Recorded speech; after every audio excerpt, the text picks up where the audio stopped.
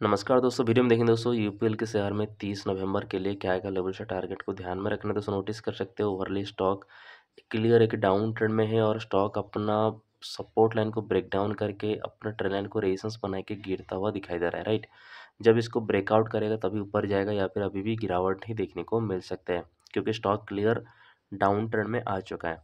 अब हम देखेंगे दोस्तों, यहाँ पे यूपीएल के शेयर में नियरेस्ट में क्या क्या लेवल्स हमें ध्यान में रखना चाहिए। तो उसके लिए आपको रेजिस्टेंस लाइन दिखाई दे रहा है जो कि रहेगा five seven one point seven five में रहेगा सपोर्ट लाइन दोस्तों five six three point five zero में है और एक रहेगा दोस्तों यहाँ पे फाइव फाइव सेवन में। तो दोस्तों, इन लेवल्स पे ध्यान रखिएगा। वीडियो को लाइक करिए, चैनल को सब्सक्राइब करके बेल आइकन भी दबा लीजिए। स्टॉक में बाय सेल या होल्ड करने की कोई भी सलाह या सुझाव नहीं है। वीडियो सिर्फ़ एक एजुकेशन पर्पज में बनाया गया है। सो धन्यवाद दोस्तों।